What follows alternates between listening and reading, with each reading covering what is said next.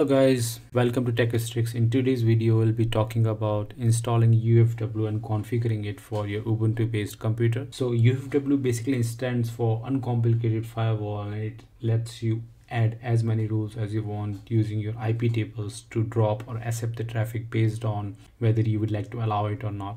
Now, if you are into DevOps and if you would like to make sure your server is safe and secure, you should make sure you have UFW installed and has all those rules based on what traffic you would like to accept or what traffic you would like to drop to avoid any kind of unauthenticated access. So let's just get started. The very first thing to make sure here is that you have UFW installed and you can do that by using sudo apt install UFW. So as you can see here, UFW is already the newest version. So we are good to go now next thing to check is the status of UFW and as you can see it's inactive. Also make sure that before you enable or add the rules your UFW is inactive to make sure you don't interrupt your existing SSH connection. Now next use case can be that let's say you would like to block an IP you are getting DDoS from or any other kind of attack. You can just do that by using sudo UFW deny from and then IP so let's say I'm disabling an IP call this so as you can as you can see the ip is added and it's denied. Now i can do the same thing for any subnet as well by specifying the subnet.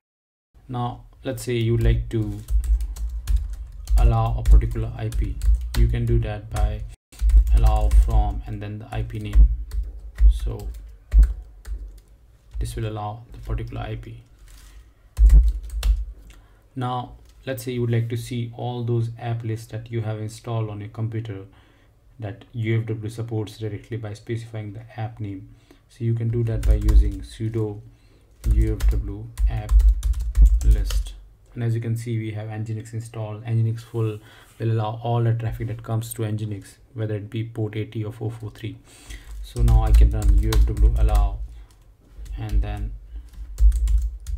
Nginx full this is going to allow nginx both these roles port 80 and 443 i can do the same thing by specifying port as well which can be allow 443 or allow 80 which is already done. So we are good.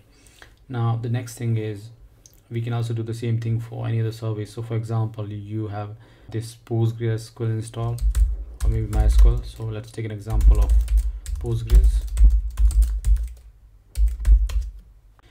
so as you can see postgres installed so let's just uh, allow an ip from postgres. So to do that you're going to run sudo ufw allow from then your ip